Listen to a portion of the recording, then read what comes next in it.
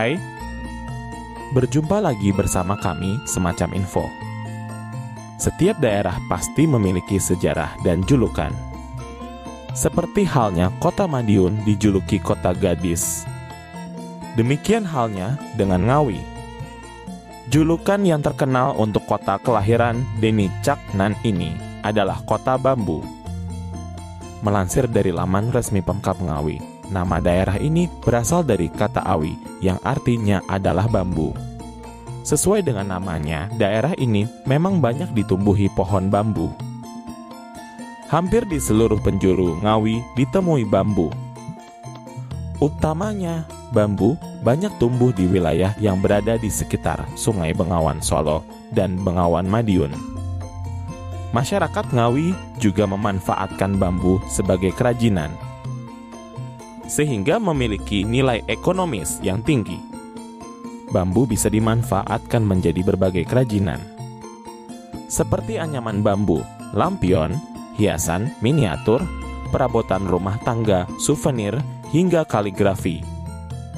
Selain tentang nama, ada sejumlah fakta menarik yang terus bermunculan dari daerah Ngawi. Apa saja fakta menarik kota Ngawi? Bagaimana masyarakatnya? Berapa biaya hidupnya? Tetaplah bersama saya untuk menguak lebih dalam kota Ngawi. Sebelumnya terima kasih telah menonton. Yang belum subscribe silahkan subscribe terlebih dahulu agar tidak ketinggalan video terbaru kami. Terima kasih. Kota Ngawi adalah ibu kota Kabupaten Ngawi yang sekaligus menjadi pusat pemerintahan dan perekonomian dari Kabupaten Ngawi. Ngawi juga merupakan sebuah wilayah kecamatan yang berada di Kabupaten Ngawi, Provinsi Jawa Timur, Indonesia.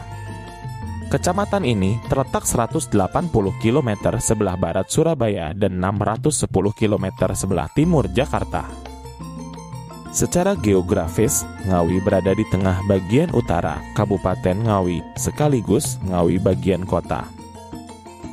Infrastruktur serta pemukiman dari Kabupaten Ngawi juga terpusat di kecamatan ini. Pada tahun 2022, jumlah penduduk di Ngawi mencapai 84.923 jiwa dengan kepadatan sekitar 1.160 jiwa per kilometer persegi hampir sepersepuluh dari keseluruhan penduduk Kabupaten Ngawi berdomisili di kecamatan ini. Ngawi memiliki luas wilayah 73,22 km persegi, di mana sekitar 48 persen atau 34,96 km berupa lahan sawah. Sungai dan perkebunan. Sisanya berupa lahan pemukiman. Perkantoran atau instansi.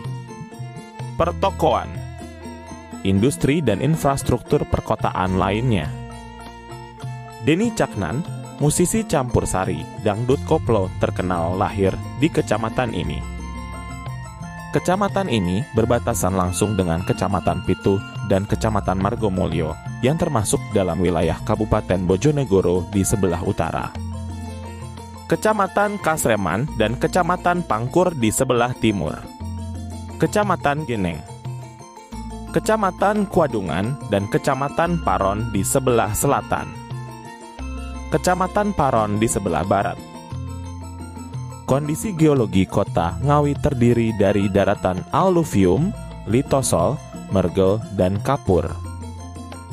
Berdasarkan kondisi geologi, Ngawi dikategorikan ke dalam kawasan yang relatif aman terhadap bencana gempa bumi karena letaknya jauh dari jalur sesar kendeng yang berada di wilayah Kecamatan Randu Blatung dan sebagian besar wilayah Kabupaten Bojonegoro.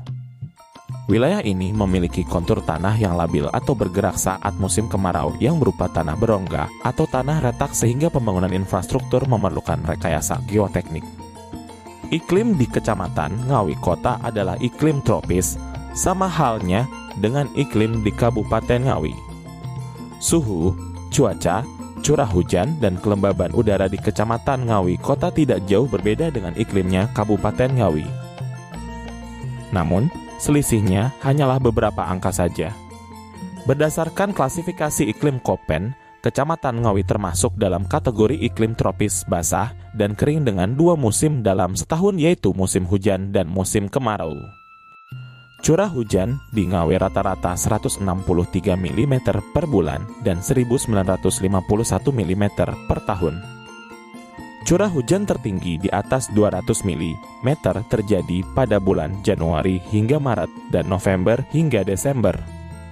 Suhu udara rata-rata di Ngawi berkisar antara 24,7 derajat Celcius hingga 29,8 derajat Celcius. Ngawi dipimpin oleh seorang camat yang kemudian dibantu oleh sekretaris camat atau sekcam dalam melaksanakan tugasnya. Camat Ngawi kota saat ini adalah Eko Yudo Nur Cahyo yang menjabat sejak tahun 2021 lalu dibantu oleh seorang sekretaris camat bernama Indah Puspawati. Secara administratif, Wilayah Kecamatan Ngawi memiliki 12 desa dan 4 kelurahan yang terbagi menjadi 86 dusun atau lingkungan dari total 213 desa. 4 kelurahan dan 971 dusun atau lingkungan di Kabupaten Ngawi. Ngawi merupakan markas dari Kodim 0805 dan Batalion Armet 12 yang merupakan komando kewilayahan pertahanan dari TNI Angkatan Darat di wilayah Kabupaten Ngawi. Wilayah Satuan Teritorial Kodim 0805 Ngawi di wilayah Ngawi Kota adalah Koramil Ngawi Kota. Markas Polres Ngawi juga terdapat di Kecamatan Ngawi Kota. Wilayah hukum Polres Ngawi yang ada di wilayah Ngawi Kota yaitu Polsek Ngawi Kota. Per tanggal 30 Juni tahun 2022 agama mayoritas di Kecamatan Ngawi adalah agama Islam yang total pemeluknya mencapai 97,00% atau sebanyak 82.378 jiwa dari keseluruhan penduduk Kecamatan Ngawi yang berjumlah 84.923 jiwa. Di Ngawi juga berdiri Masjid Agung Baitur Rahman yang merupakan masjid terbesar di kecamatan bahkan di Kabupaten Ngawi masjid di kecamatan kota ini hampir merata hingga ke pinggiran wilayah kecamatan Ngawi. Agama lain yang dianut sebagian penduduk adalah Kristen sebanyak 2.463 jiwa, di mana Protestan berjumlah 1.713 jiwa dan Katolik sebanyak 750 jiwa. Penganutnya mayoritas berasal dari etnis Tionghoa dan etnis Indonesia Timur dan minoritas suku Jawa setempat. Di Kecamatan Ngawi ini juga terdapat beberapa gereja di antaranya adalah Gereja Katolik Santo Yosef Ngawi, GKJW Ngawi, di Karang Asri, GBIKA Ngawi, dan lain sebagainya. Agama lain yang dianut oleh penduduk Kecamatan Ngawi selain Islam dan Kristen yaitu Buddha 47 jiwa, Hindu 29 jiwa, dan sisanya adalah aliran kepercayaan ketuhanan sebanyak 6 jiwa. Bahasa yang sering diucapkan sehari-hari oleh masyarakat kota Ngawi yaitu bahasa Indonesia sebagai bahasa resmi. Bahasa Jawa merupakan bahasa yang menjadi bahasa utama yang mendominan di kota Ngawi. Dialek Jawa Matraman merupakan sebuah dialek bahasa Jawa yang banyak dituturkan oleh masyarakat di Kabupaten Ngawi khususnya di wilayah Kecamatan Ngawi dan bekas wilayah Kresidenan Madiun, Kediri, dan Bojonegoro Istilah Mataraman merujuk pada suatu wilayah kebudayaan yang meliputi wilayah Jawa Timur bagian barat selatan karena wilayah tersebut pernah dikuasai oleh Kesultanan Mataram di Jawa Tengah. Penduduk asli atau suku yang mendiami Kabupaten Ngawi adalah suku Jawa, demikian juga di Kecamatan Ngawi. Meski demikian, penduduk dari suku lain pun juga ada yang berdomisili di kecamatan ini. Kaum orang Tionghoa di Kecamatan Ngawi merupakan perantau yang berasal dari Tiongkok yang datang ke Ngawi pada zaman pra-kemerdekaan RI. Rata-rata permukiman orang-orang etnis Tionghoa di Ngawi berada di Kampung Pecinan, lebih tepatnya di lingkungan atau Dusun Sidomulyo, Kelurahan Ketanggi. Orang keturunan Tionghoa di Ngawi sebagian besar bekerja di bidang layanan, jasa termasuk pertokoan maupun industri. Kecamatan ini juga merupakan pusat domisili dari semua orang-orang etnis Tionghoa yang ada di wilayah Kabupaten Ngawi mengingat kapasitas kecamatan ini sebagai ibu kota dan pusat perekonomian dari Kabupaten Ngawi. Suku bangsa lain yang ada di Kecamatan Ngawi selain suku Jawa yang mendominan yang tinggal di kecamatan ini meliputi suku Madura. Osing Bawean Tengger Banjar Samen, Bali, Sunda, Aceh, Melayu, Dayak, Minahasa, Bugis, Ambon, Batak, Minangkabau, Betawi dan sebagian warga asing yang juga termasuk orang keturunan Arab. Orek-orek merupakan salah satu tari tradisional Indonesia yang berasal dari wilayah Kabupaten Ngawi khususnya di Kecamatan Ngawi. Tarian ini populer pada tahun 1980. Tarian ini dilakukan ketika diadakan perhelatan atau acara hajatan warga maupun pemerintah dan hampir di setiap acara tari orek-orek berisi gerakan-gerakan yang dinamis serta dilakukan oleh sepasang pemuda-pemudi berjumlah 4 hingga 10 orang dan perlu diketahui bahwa kesenian orek-orek ini sudah ada sejak zaman pemerintahan kolonial Belanda sebelum kemerdekaan Indonesia. Pada zaman pemerintah kolonial Belanda, Belanda mengatakan bahwa perayaan mereka terlihat morat-marit.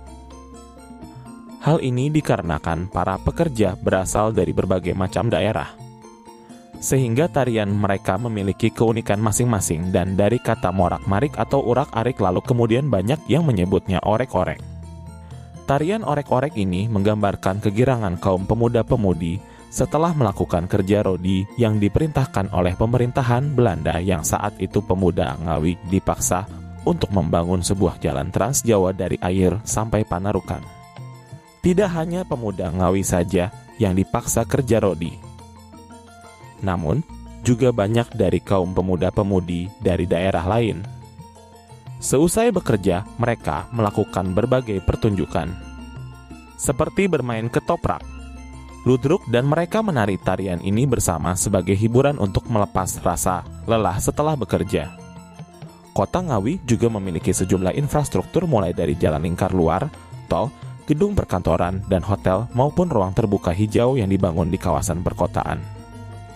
Pemerintah Kabupaten Ngawi khususnya Dinas PUPR membangun jalan lingkar selatan pada tahun 1997 untuk mengurangi jumlah kendaraan besar yang melintas di dalam kota yang dapat menyebabkan kemacetan dan jalan rusak. Ada rencana pembangunan jalan lingkar utara yang melewati luar kota, yakni Kecamatan Pitu dan Kecamatan Kasreman untuk membangun perekonomian warga sekitar Kecamatan Ngawi di bagian utara. Tol Ngawi Kertosono maupun Solo Ngawi juga memiliki gerbang tol di dalam kota. Tujuan pembangunan gerbang tol di wilayah Kecamatan Ngawi Kota adalah agar dapat menggerakkan perekonomian masyarakat Kabupaten Ngawi khususnya Kecamatan Ngawi. Ada pula taman terbuka hijau yang dibuat di kawasan perkotaan agar dijadikan sebagai tempat wisata bagi warga lokal maupun warga luar kota. Pembangunan gedung-gedung bertingkat mulai bertebaran di wilayah ini salah satunya adalah pembangunan hotel dan pusat perbelanjaan. Untuk mengakomodir kebutuhan pejalan kaki dan wisatawan, pemerintah Kabupaten Ngawi khususnya Kecamatan Ngawi membangun jalur sepeda di sejumlah jalan utama di Ngawi, serta jalur pedestrian yang hampir merata di seluruh wilayah Ngawi. Cabang olahraga yang berkembang di wilayah kota Ngawi di antaranya adalah sepak bola, basket, bulu tangkis, tenjo waringin, voli, renang, dan lain sebagainya. Ngawi memiliki sebuah stadion yakni Stadion Ketonggo. Selain stadion, Ngawi juga memiliki sebuah gedung olahraga atau disingkat GOR walau letaknya di luar wilayah Kecamatan Ngawi Kota termasuk wilayah Desa Klitik, Kecamatan Geneng. Hampir semua kegiatan olahraga di wilayah Kecamatan Ngawi berpusat di gedung tersebut. Ngawi juga terdapat pusat perbelanjaan mulai dari pusat perbelanjaan modern, pusat grosir, dan tradisional. Alfamart, Alfamidi, dan Indomaret juga menjamur di daerah Ngawi. Hampir setiap tempat di penjuru Ngawi ada minimarket tersebut. Kota Ngawi memiliki sejumlah pusat-pusat perbelanjaan modern dan tersebar di sebagian wilayah kelurahan dan ada yang letaknya di luar wilayah Kecamatan Ngawi Kota. Di samping itu pula, Kecamatan Ngawi Kota terdapat beberapa pasar tradisional juga pasar hewan, yakni Pasar Besar Ngawi, Pasar Beran, Pasar Gurudo, Pasar Krempiang Watu Alang, Pasar Berangetan, atau Ngawi Purba. Pasar hewan di wilayah Ngawi Kota ada dua, yakni pasar hewan, legi sekaligus pasar loak yang terletak di desa Kandangan dan pasar ayam Koplakan di Kelurahan Karangtengah Kota. Penduduk di Kecamatan Ngawi Kota mayoritas bekerja di sektor jasa, industri maupun perdagangan. Kecamatan Ngawi adalah pusat perdagangan bisnis dari Kabupaten Ngawi yang mengalami perkembangan pesat. Industri besar dan menengah antara lain PT Dwi Prima Sentosa, Wilmar, Padi Groups, Solang Lastindo, Surya Babu Timur, dan lain-lain. Jika Anda berkunjung ke Ngawi, jangan lupa ke Benteng Van Den Bosch atau Benteng Pendem. Benteng Van Den Bosch di Kelurahan Pelem, Kecamatan Ngawi Kota, dibangun pemerintahan Belanda pada 1839 sampai 1845 dengan nama Fort Van Den Bosch. Benteng ini kerap disebut benteng pendem benteng ini memiliki ukuran bangunan 165 meter kali 80 meter dengan luas tanah 15 hektar. Lokasinya mudah dijangkau yakni dari alun-alun Kabupaten Ngawi atau dari titik 0 km Ngawi berjarak 1,5 km ke arah timur laut. Letak benteng ini dinilai strategis karena letaknya yang berada di dekat muara Sungai Bengawan Madiun yang bermuara ke Sungai Bengawan Solo. Benteng ini dulu sengaja dibuat lebih rendah dari tanah sekitar yang dikelilingi oleh tanah tinggi sehingga tidak terlihat dari luar. Lokasi benteng Van Den Bosch sengaja dibuat rendah dari tanah sekitarnya yang lebih tinggi agar tersembunyi dan memenuhi unsur ideal bagi suatu benteng pertahanan. Namun dengan hebatnya arsitek Belanda saat itu dalam mendesain saluran drainase, walaupun berposisi lebih rendah dari tanah sekitarnya, lokasi benteng tersebut mampu terhindar dari banjir. Oleh karena itu, Benteng Van dan Bosch ini juga dikenal dengan sebutan benteng pendem oleh sejumlah masyarakat di Ngawi. Anda juga bisa berkunjung ke Ngawi Oboro Street Ngawioboro Street merupakan salah satu tempat di mana para pengunjung atau wisatawan berjalan menyusuri trotoar jalur pedestrian dari perempatan Tugu Gading Kartonyono di sebelah selatan hingga alun-alun Kabupaten Ngawi di sebelah utara. Ngawioboro Street mengadopsi gaya Jalan Malioboro yang terletak di kota Yogyakarta. Gaya utama yang diadopsi adalah di mana jalur pedestrian dibuat lebar dan dibuat berbagai jenis spot atau titik keunikan di sepanjang jalur ini. Letak Ngawioboro Street ini di sepanjang jalan Yos Sudarso, sisi barat. Pemerintah merubah wajah trotoar di sepanjang kawasan jalan Yos Sudarso yang semula hanyalah jalan protokol biasa tetapi dirubah sedemikian rupa hingga berbentuk kawasan jalur pedestrian kota. Sekarang banyak warga sekitar menyebutnya Ngawioboro Street atau Malioboro-nya Kecamatan Ngawi. Fasilitas tambahan seperti adanya deretan kursi panjang dan kursi bulat berbentuk kartun kepik yang menjadi perhatian bagi para wisatawan baik domestik maupun mancanegara. Lalu, ada beberapa meja dan lampu hias berwarna kuning krem yang memberi kesan yaitu kesan klasik seperti halnya tempat wisata di luar negeri. Selain itu, ada Taman Candi, Taman Dungus, Gedung Kepatihan Ngawi, Bukit Kerek Indah, dan Alun-Alun Ngawi. Ngawi mempunyai beragam aneka kuliner dari makanan hingga minuman. Salah satunya tepo tahu. Pertama kali dibuat oleh Bapak Palio orang Ngawi. Yang terbuat dari lontong, tahu, telur, kubis, seledri, toge yang kemudian diberi kuah bumbu campuran kecap yang terdiri dari kecap manis, kacang tanah, cabai rawit, bawang putih, dan garam. Hidangan ini banyak dijual di warung maupun pasar tradisional. Ada juga cemue, wedang khas Ngawi ini biasanya dijual saat malam hari ataupun pada saat musim hujan. Untuk membuat minuman jenis ini diperlukan bahan potongan roti, kacang tanah sangrai, santan, sari jahe, dan topping bawang goreng sebagai pelengkap. Getuk lindri juga merupakan salah satu makanan khas Ngawi. Tentu cita rasa getuk Ngawi ini berbeda dari getuk daerah lainnya. Untuk membuat getuk jenis ini diperlukan singkong sebagai bahan baku, gula pasir, daun pandan dan vanili sebagai pemberi aroma pada getuk, garam, dan pewarna makanan. Itulah beberapa fakta tentang kota Ngawi. Bagaimana menurut Anda? Tulis di kolom komentar. Terima kasih telah menonton. Sampai jumpa di video selanjutnya.